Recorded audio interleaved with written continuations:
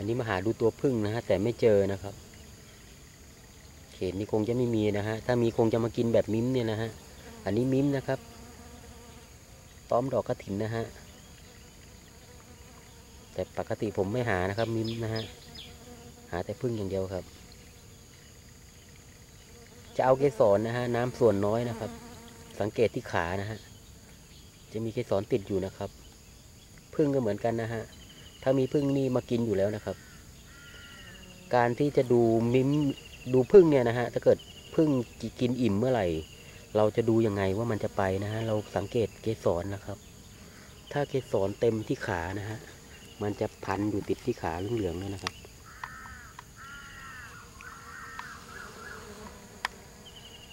พอเต็มปุ๊บก็จะไปไปรังนะฮะไม่ไม่บินไปไหนแล้วนะครับ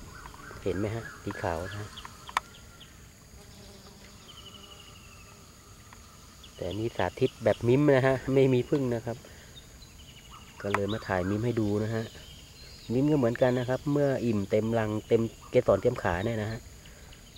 ก็จะบินกลับรังครับผม หากินแบบพึ่งเหมือนกันนะฮะ แต่เขตนี้พึ่งไม่มีแน่นอนครับ ถ้ามีอดมากินไม่ได้นะฮะเต็มไปหมดนะฮะ ถ้าพึ่งกินขนาดนี้นี่เสร็จเลยนะครับ ตามเจอรังแน่นอนนะครับ นี่มีทมิมนะฮะ ไปข้างหน้าต่อครับผม นอกจากดอกเกสรเมื่อกี้แล้วนะครับ อันนี้เป็นดอกแห้วหมูนะฮะมิมกับพึ่งก็จะมากินเหมือนกันนะฮะ ได้ฝนใหม่ครับออกดอกนะฮะ จะกินช่วงเช้านะฮะ มีเฉพาะหน้าฝนนะครับ ช่วงเดือนห้าก็ไม่มีดอก ดอกแห้วหมูนี่แล้วนะครับ ถวนี้ไม่มีพึ่งนะฮะ เลยมาถ่ายมิมให้ดูนะครับ เอาเกสรครับ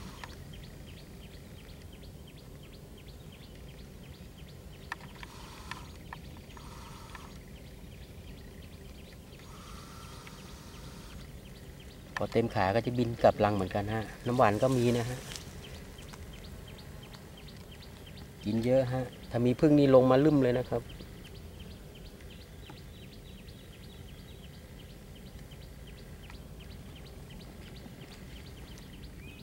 การที่เราจะมองพึ่งไปรังนะครับ ถ้าเราไปดูตัวตัวต่อตัวอย่างนี้นะฮะเป็นลายตัวนะครับ เราจะดูนานมากนะ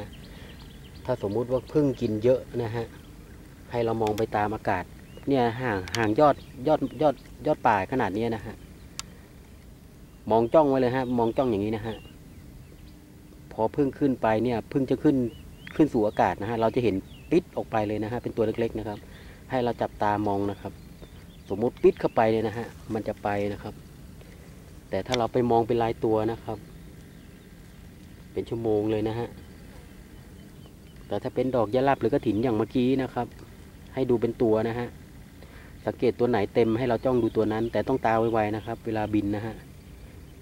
พยายามอย่าไปมองเข้าป่าแบบนี้นะครับ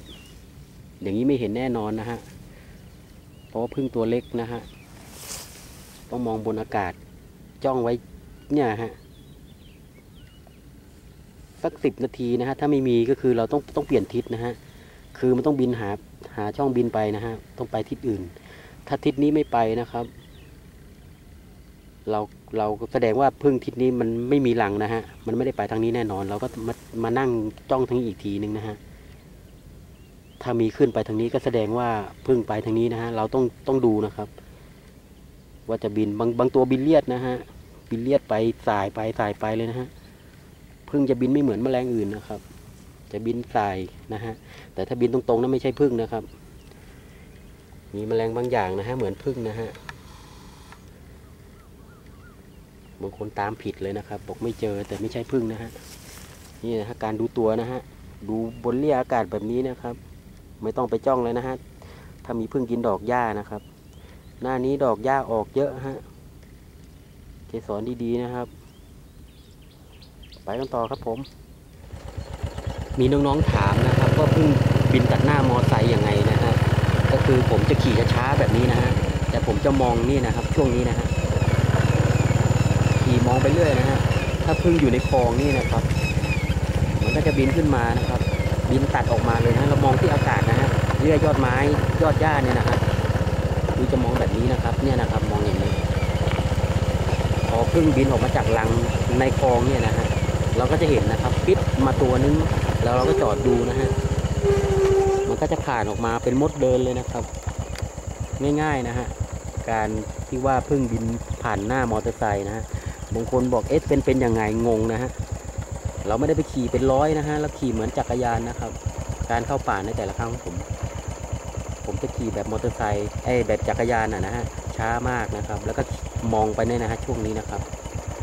อันนี้มันจะบินตัดหน้าขึ้นมานะฮะหรือบินลงรังนะฮะคือเดียวกันนั่นนะครับ นี่นะฮะคือการมองบางทีเราไม่ต้องดูตัวก็มีนะฮะส่วนมากจะเป็นฤดูหนาวนะครับเพิ่งจะบินเลียดนะครับ เพราะว่าหลบลมหนาวนะฮะก็เลยก็เลยที่บอกว่าเพิ่งตัดหน้ามอเตอร์ไซค์เนี่ยนะครับ โอเคนะฮะคงเข้าใจนะครับผม เมื่อกี้คุยเรื่องพึ่งตัดหน้านะครับ คราวนี้เรามาดูพึ่งที่เกาะต่ำๆนะฮะ สมมุติเกาะพุ่มนั้นนะครับ ในระยะนี้เรามองเห็นนะฮะตัวขึ้นลงนะฮะสังเกตต่อไหมฮะ จะบินออกบินเข้านะครับ อันนี้เราก็จะมองนะฮะมองช่วงนี้นะ ถ้ามีพึ่งจะบินออกบินเข้านะเห็นนะฮะโดยที่เราไม่ต้องเดินเข้าไปให้ให้หมดแรงนะครับ มันลกนะฮะหรือมองข้างๆพุ่มอย่างนี้นะฮะถ้ามีพึ่งจะบินออกมาทันทีนะครับ บินเข้าบินออกนะฮะโดยที่เราไม่ต้องเดินเข้าไปค้นนะฮะ นี่คือเทคนิคนะครับ มันเป็นป่ารกนะฮะ ถ้าตะลุยไปหมดนี่เป็นลมก่อนนะครับ สังเกตชายป่าชายชายชายข้างๆพุ่มเนี่ยนะฮะ ถ้ามีพึ่งจะบินออกปิดออกนะฮะ ปิดเข้านะฮะ สายตาต้องดีด้วยนะครับ โอเคนะฮะ นี่การหาพึ่งต่ำนะครับ ไม่ต้องลุยนะฮะ ถ้าลุยนี่แย่นะครับ โอ้โห ป่าพงต้องเฉาะไปนะฮะ อันตรายมีงงมีงูนะฮะ ต้องระวังให้ดีนะครับ แล้วก็เข้าเจ็ดแปดนี่นะฮะ ผมเจอจงอางสองครั้งนะฮะ ถึงจะเป็นป่าน้อยๆอย่างนี้นะครับ มีนะฮะ แต่สัตว์พวกนี้จะไม่ให้เราเข้าใกล้นะครับ มันจะขู่ก่อนนะครับ ขู่ดังมากนะฮะ แล้วก็ชูคอนะฮะ พ้นเลยนะ พ้นป่าเลยนะครับ